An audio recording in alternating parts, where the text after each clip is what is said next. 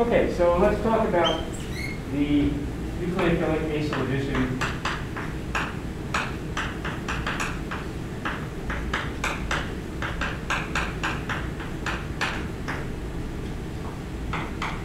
of nucleophiles that are not strongly based.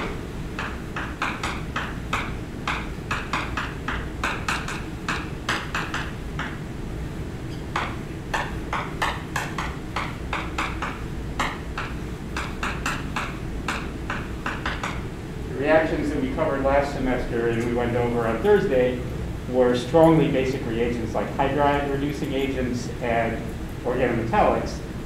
And those work by having that strongly basic nucleophile directly attack the carbonyl carbon. But when we're working with nucleophiles that are not strongly basic, that may be neutral, like water, or an alcohol, or an amine,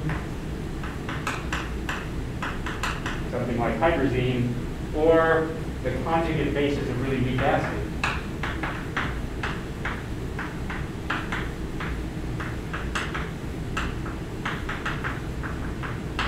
Like cyanide ion,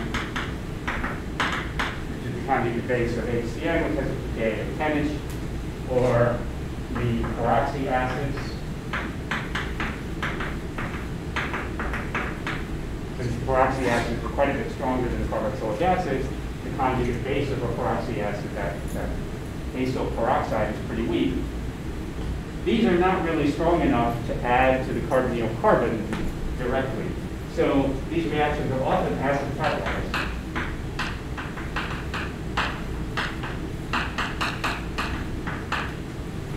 And the first step is often protonation of the carbonyl group.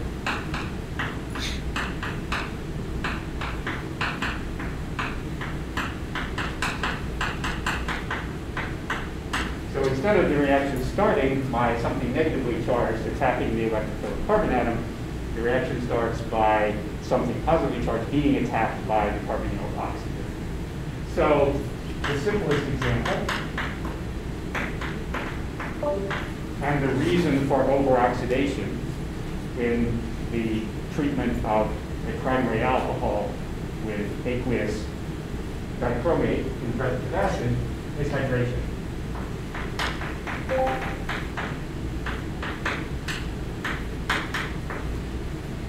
Hydration is obviously the addition of water. And so the net reaction that we're talking about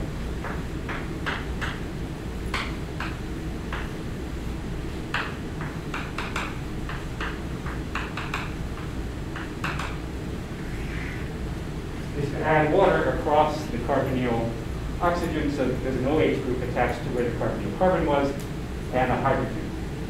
This comes from an acid.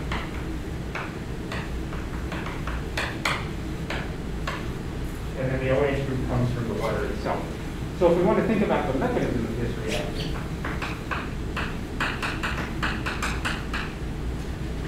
which occurs when we have aqueous acid, the first step will be for the acid source to be attacked by the carbonyl oxygen.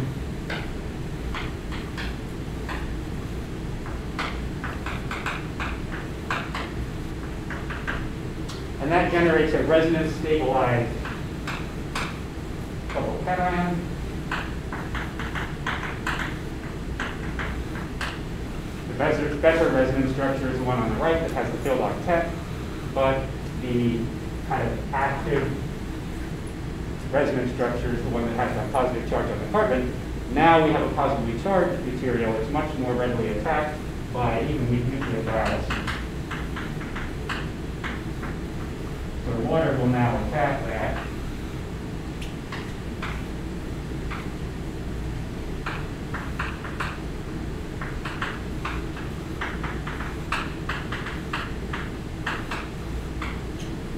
So step one was protonation. Step two is the nucleophilic attack.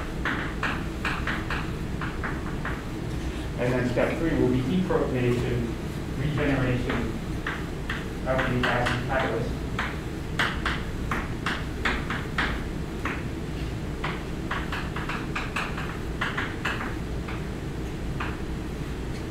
to generate the hydrate. And you can't leave this reaction stuck. Anytime that you have a carbonyl compound, an aldehyde or ketone, in the presence of aqueous acid, this reaction, this equilibrium is going to be occurring. The equilibrium constant for the reaction with an ordinary aldehyde is on the order of 1. So in solution, you'll have about equal quantities of unreacted aldehyde molecule and the aldehyde hydrate. But that's not true for all carbonyl compounds. For a ketone, for example, Keq is around 10 to the minus 2, which means only about 1 in 100 molecules is the hydrate, and the rest of it exists as the unreacted carbonyl. So acetone is mostly acetone in solution in water, not the acetone hydrate. But for some of the other aldehydes, and if you're in the biological sciences, you're very familiar with the solution of formaldehyde. So for formaldehyde, the equilibrium constant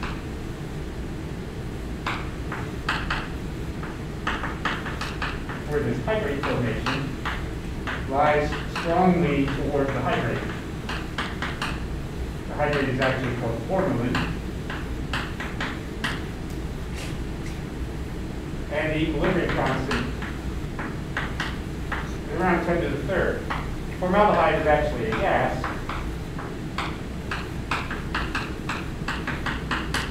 And in aqueous solution, there is very little gaseous formaldehyde dissolved in there. It's not like dissolved oxygen or dissolved nitrogen. It mostly exists as the hydrate formalin. And if you put an electron withdrawing group,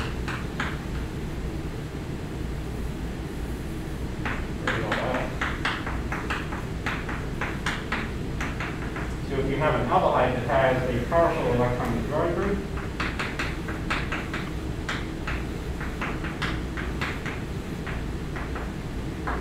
the equilibrium constant is even larger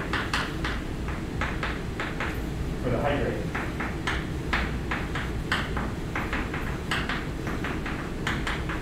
This is chloral hydrate.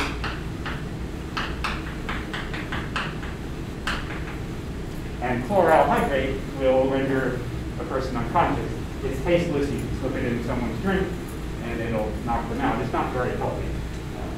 So the more the electrons are pulled away from that carbonyl carbon, the better this nucleophilic attack. And the more we lie toward the hydrate.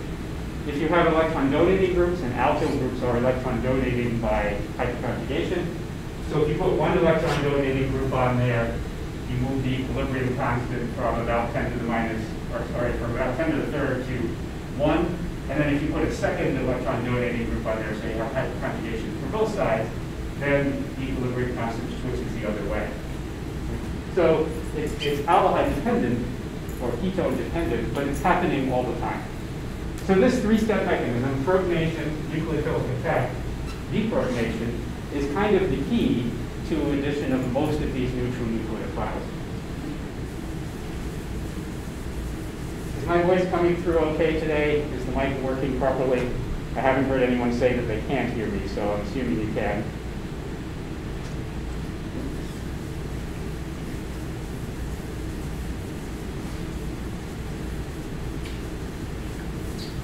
So if you know the mechanism for hydration,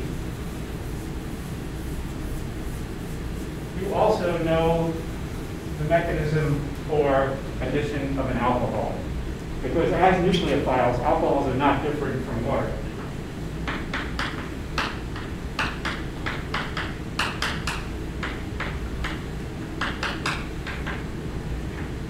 So if we were to take that same aldehyde, what's the name of this aldehyde?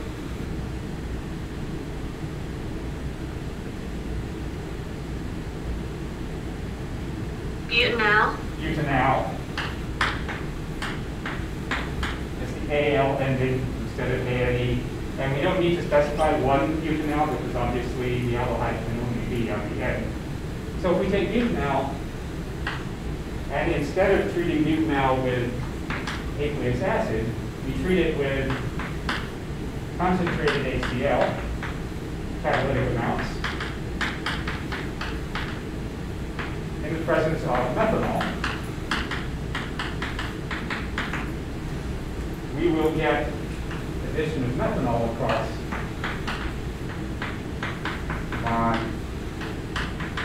And this product that has an OH group and an OR group is called a hemiacetal. It's half an acetal. If we have two OH groups, it's a hydrate. If we have two OR groups, it's an acetal. If we have one OH and one OR group, it's a hemiacetal. HCl is a strong acid in the presence of methanol, just as it is in the presence of water, so it's completely dissociated.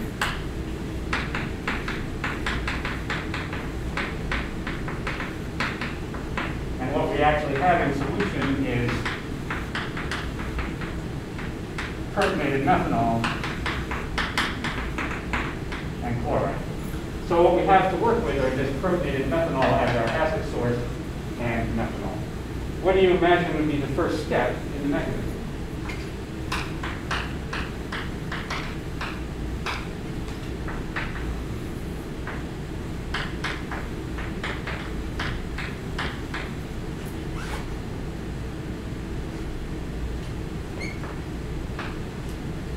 I know it's all, we're talking to an empty computer, but we can hear you. What are we going to do? If the quiz on Thursday for the mechanism of hemiacetal formation, what's your first step? Protonate, carbonyl oxygen. Protonate carbonyl oxygen with what? The uh, oxygen from the methanol. The methyloxonium ion. Not HCl, right? There's no HCl in solution. What we have in solution is protonated methanol.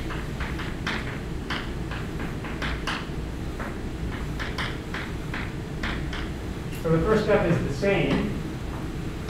The acid source is different, but the step is basically the same.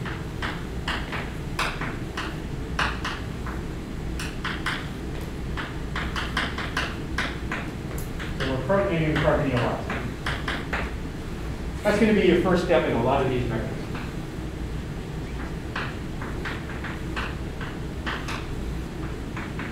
Once we've protonated that carbonyl oxygen, now it's subject to nucleophilic attack. So what's the second step?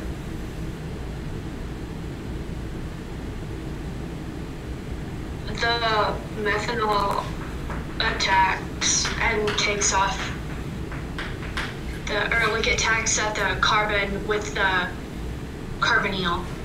Attacks the carbonyl carbon and to avoid too many bonds, breaks that pi bond and pushes that electron pair back up that's attack.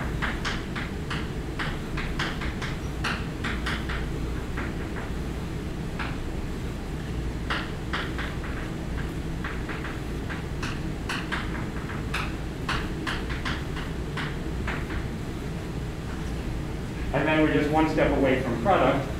All we have to do is regenerate our acid catalyst by taking that proton off.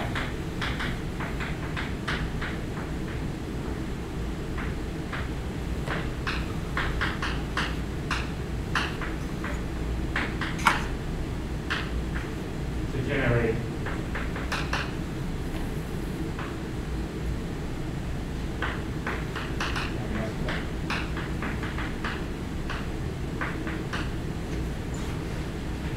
So exactly the same mechanism with a different proton shuttle, basically. The methanol acts as the source of proton in its protonated form and as the base that's going to remove the proton at the end. Hydration and hemiacetal formation can actually occur in base as well.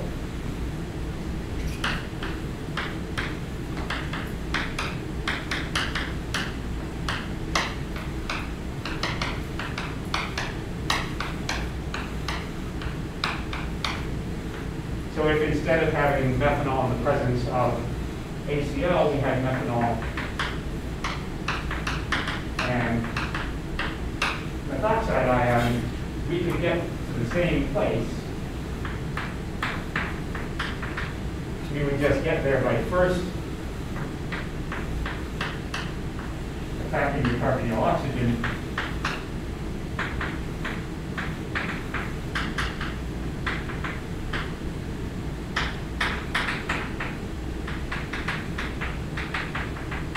to generate an alkoxide ion, and then protonation of that alkoxide ion from the alcohol.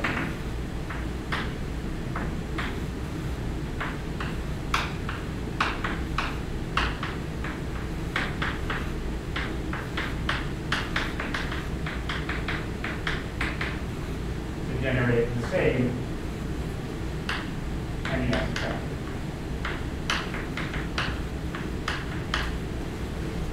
You'll notice that the base catalyzed mechanism has one fewer step than the acid catalyzed mechanism. That's actually pretty common.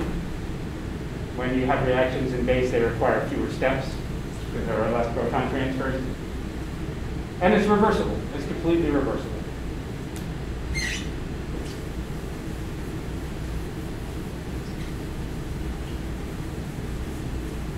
In the presence of base, that's as far as you go. The hemiacetal is as far as you can get. But in the presence of acid,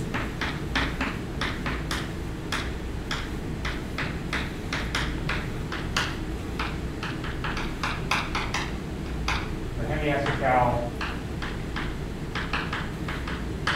continues to react.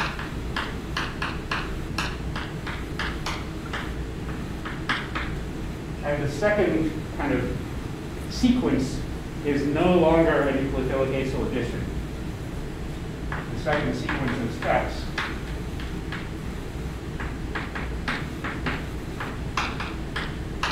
and there are actually going to be four steps, is a nucleophilic alkyl substitution.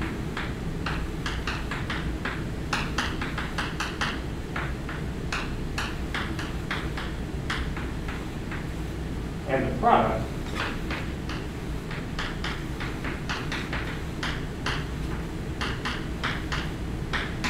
is an acetal. And an acetal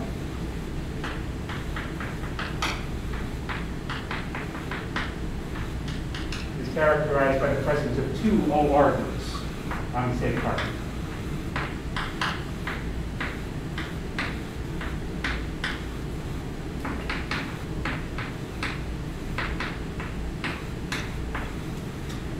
So instead of having one OH and one OCH3 like we have in hemiacetal, we've got two OCH3 groups.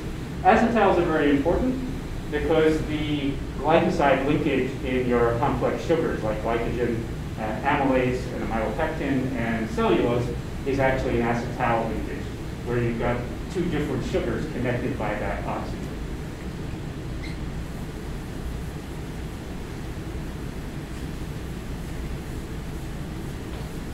So the question is, how do we get from the hemiacetal to the acetal under acid catalysis? And we can't get there under basic catalysis. You're limited to just the nucleophilic acyl addition. So we've got in solution the methyl uh, oxonium ion and methanol, and we've got the hemiacetal.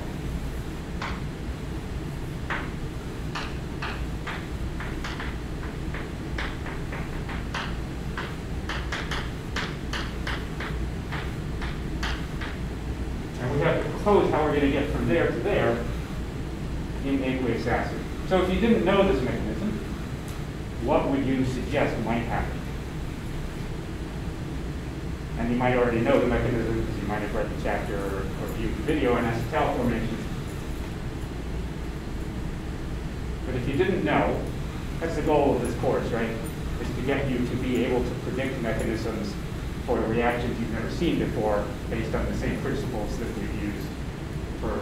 I think it's going to the um sorry, I forget what it's called. It's gonna the proton, the um, hydroxyl group.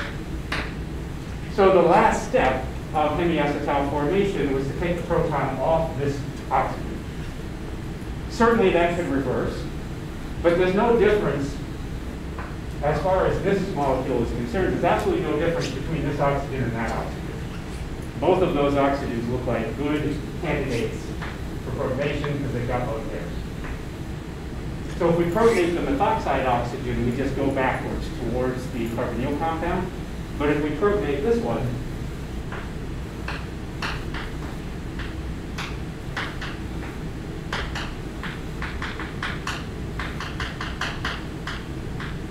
and this is step four, right? Because we had three steps to get to the hemiacetal. So step four is to protonate that hydroxyl oxygen.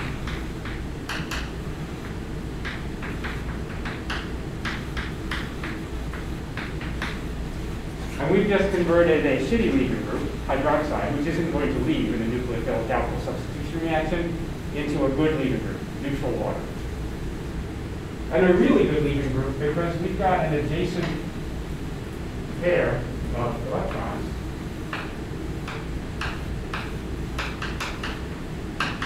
that can stabilize that carbocation that's going to form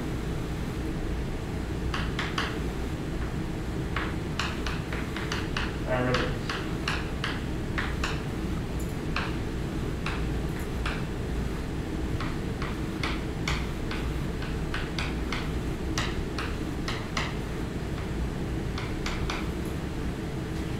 So it's an even better leaving group than your usual secondary hydroxide would be because of the presence of the alkoxide group. Now that water is left, and we have a carbocation, that carbocation probably doesn't look all that different to you from this one. Which was the carbocation we formed in the first step of hemiacetal formation by protonating the carbonyl oxygen. As far as methanol is concerned, this carbocation and this carbocation are absolutely identical. There's no reason why methanol won't attack it. So we have a second nucleophilic attack.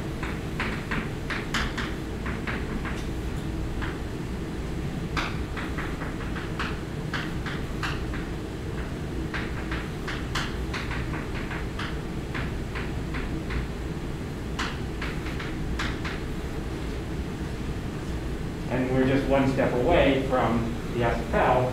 All we have to do is take that off.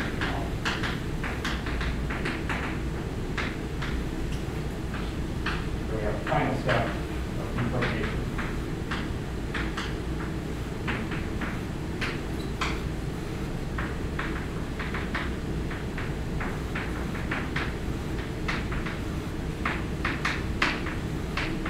And we've made the acetal, and you notice we've also regenerated the acetal.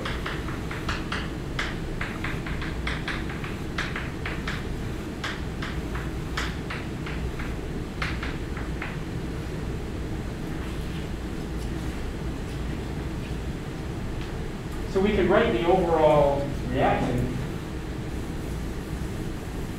as a balanced equation.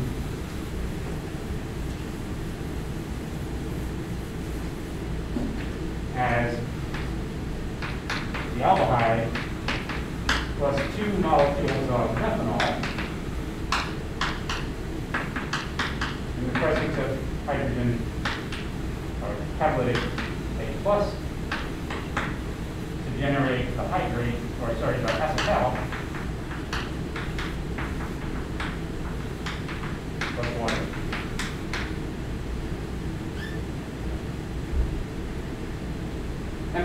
Enthalpically, that's favorable. We no longer have a pi bond. We have two sigma bonds, carbon oxygen sigma bonds. We, we don't have a weak pi bond anymore. But from a perspective of entropy, this is not very good. This is three molecules of starting material becoming two molecules of product. So delta H is negative, it's exothermic. The delta S is also negative. favorable.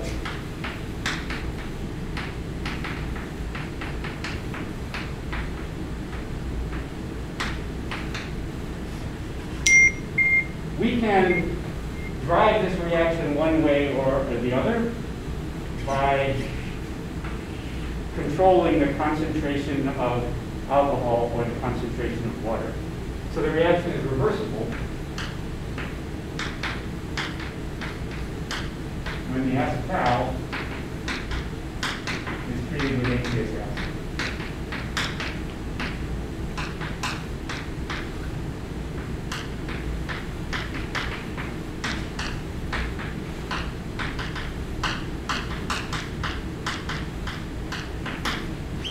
Chatelier's principle tells us that if we have a high concentration of alcohol and a low concentration of water, the reaction will drive towards the acetal.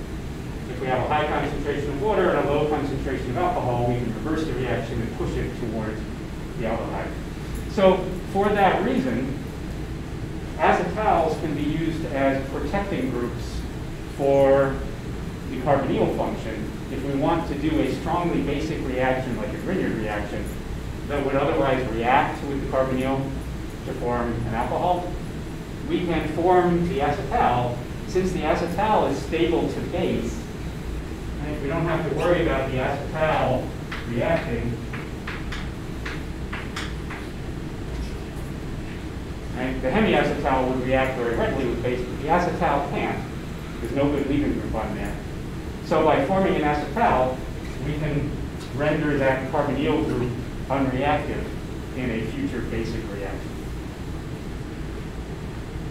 So the reverse reaction goes through all the same intermediates. The principle of microscopic reversibility tells us that the reverse reaction has to go through all the same intermediates as the forward reaction. And we can use that to then take that protecting group back off and regenerate the carbonyl carbon. It's not that favorable, though, to use an open chain alcohol like that, a mono alcohol, because of that entropy problem. We can improve the reaction in terms of using it as a protecting group by using a molecule that has the alcohol function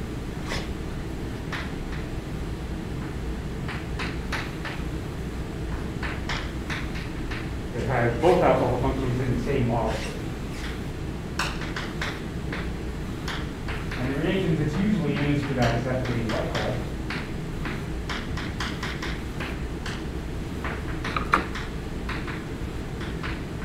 So if we treat benzaldehyde, for example, with ethylene glycol in the presence of catalytic hydrogen ion,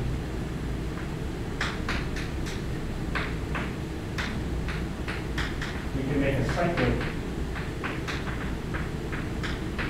acetal. And now two molecules of starting material become two molecules of product. So we don't any longer have this uh, unfavorable entropy.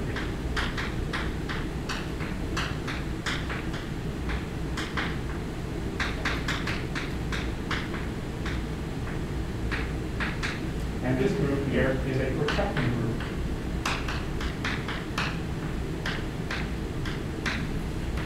For the carbonyl bond.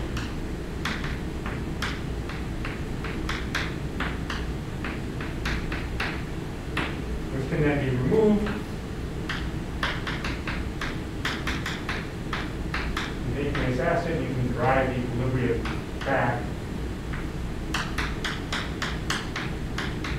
and regenerate the carbonyl group and the ethylene glycol after we've done whatever else to the molecule that we want to. So I'm going to stop there and I'm going to save this and we'll take a 10-minute break and then we'll come back and look at the mechanism for the reverse reaction, I think. And I'll respond to the messages that you were typing in there that I haven't been looking at. Are there questions on what I've presented?